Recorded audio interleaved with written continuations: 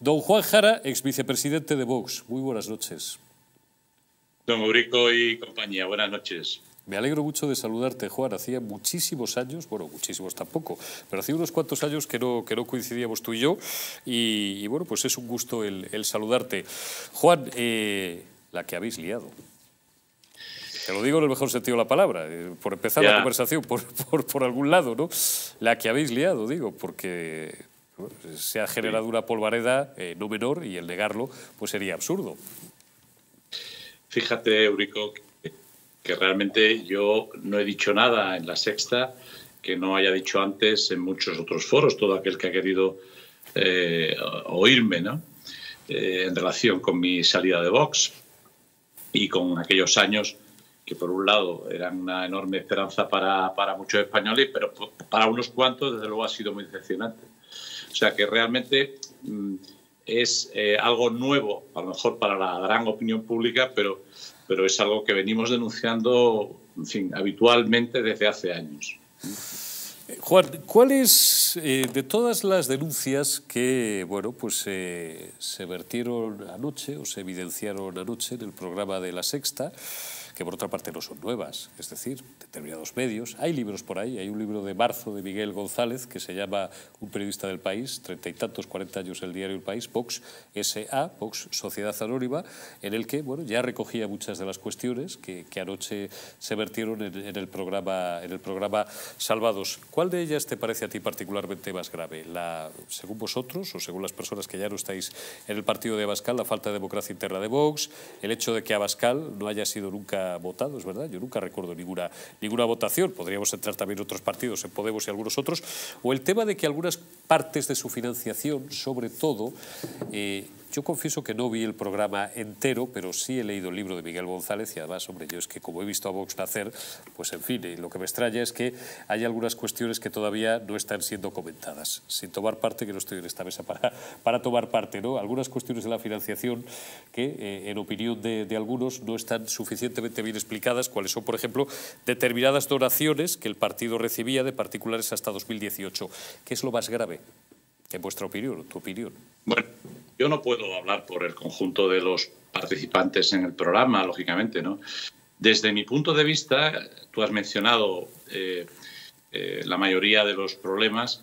Eh, yo diría que el resultado o, la impresión que queda en la retina del español medio, del que está trabajando todo lo que puede y ganando lo máximo que puede y no es suficiente, para la inmensa mayoría de los españoles la sensación que yo creo que queda en la retina es un mosaico ¿eh? de malas prácticas eh, contable, de democracia interna, de falta de transparencia, de, una cierta violencia institucional interna que hacen como un agua fuerte de olla, ¿eh? pues que, independientemente de la puesta en escena que se pueda hacer en, los fines de semana festivos, después, a la hora de tomar una decisión electoral pueden perjudicar seriamente las opciones del Vox dirigido por Abascal. Porque yo creo que lo que eh, se traduce es que a lo mejor ese proyecto en otras manos pues estaría en mejores manos. Juan, le preguntaba yo el otro día a una persona que ha tenido una altísima responsabilidad en Vox y que ya no la tiene, no sé si, a lo mejor no es quién estáis pensando, quién están ustedes pensando. ¿eh? Eh, quién toma las decisiones en Vox? Porque en función del partido, es decir, muchas veces los partidos, que son organizaciones muy verticales, etcétera, donde hay un líder supremo o una líder suprema, no es el caso, bueno, ahora sí, la señora Rimadas, pero eh, muchas veces, bueno, pues hay unas cúpulas más o menos amplias y tal. La contestación que se me dio fue, Abascal es el líder supremo y todo pasa por él. Y en Vox no se mueve un papel sin que lo autorice, no ya lo sepa, lo autorice Santiago Abascal. ¿Eso es así, Juan? Eso es, eh, ha sido y es así. Es decir, Abascal eh, y sus dos o tres personas de confianza son los que toman todas las decisiones y desde luego todas las importantes. Eh, Vox tiene ya una cierta estructura y por lo tanto a lo mejor hay cuestiones más operativas que pueden estar protocolizadas o pueden estar semiautomatizadas, pero realmente eh, todo lo relevante pasa por las manos de Abascal, lo cual lo señala como responsable final de todo lo bueno o malo que se pueda eh, producir alrededor de, la calle Bambú.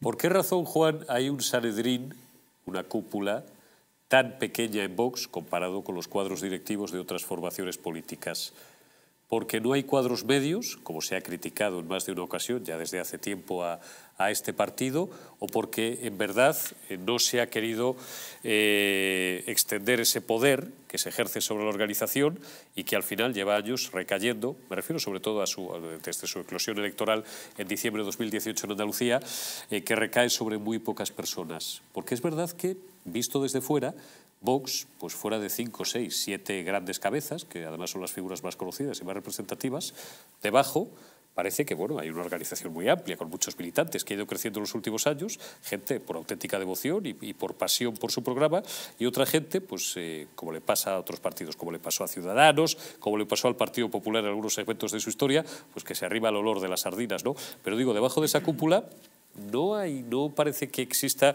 una articulación de cuadros intermedios muy amplia eh, o muy conocida. Bueno, necesariamente en una institución como Vox, eh, con 52 diputados, eh, tiene que haber gente preparada y gente con capacidad de tomar decisiones. no me cabe duda. Hay diputados regionales, hay en fin, eh, concejales ilustres, tengo que conocer alguno. Entonces, parece, parece eh, un poco insensato pensar que no hay nadie con capacidad de tomar decisiones más allá del propio César. ¿no? Eso realmente eh, creo que no se le escapa a nadie aplicando un poco de sentido común. Por otra parte, en mi opinión, yo creo que obedece a un diseño deliberado donde otras cuestiones, como por ejemplo la falta de, votación de datos de, de los ayuntamientos o parlamentos regionales, eh, se decide todo desde, la calle Bambú y, allí, pues lógicamente, el César máximo es eh, a Santiago Abascal. O sea, yo creo que es un, es un diseño muy de Abascal por su forma de ser, por su forma de entender la política, por su personalidad. Conozco las razones últimas, pero no es fruto de la casualidad y yo creo que talento soterrado debe haber y gente estupenda y honrada tiene que haber, indudablemente. Juan, la última, que no te quiero robar más minutos a estas horas de la noche y te agradezco mucho que, nos hayas atendido el eh, Distrito TV, Los Intocables. ¿Te han zumbado mucho los oídos desde anoche? ¿Te ha sonado mucho el teléfono o lo normal? Tú ya me entiendes. La, verdad es que me han sonado el teléfono como seis veces más de lo normal. ¿eh? dedicada a mi familia, a, mi, a mis pacientes y estoy un poquito alejado de, los focos. Pero, pero bueno, realmente creo que hago lo que debo, que es decir lo que sé y lo que, lo que pienso y lo que he vivido, porque eh, España no se merece un gobierno eh, que le mienta o que, o que la corrompa más de lo que ya lo tiene. O sea que creo, creo que tenemos que cada uno hacer en nuestro metro cuadrado lo que corresponde, ¿no? Y en este caso es decir verdad, y más. Juan Jara, ex vicepresidente de Vox, me alegro mucho de verte reencontrado en esta mesa de los intocables de Distrito Televisión, amigo. Cuídate mucho y espero que no sea la, última vez que, nos honres con tu presencia. Te envío un abrazo. Un fuerte abrazo, don Eurico. Un abrazo, Juan.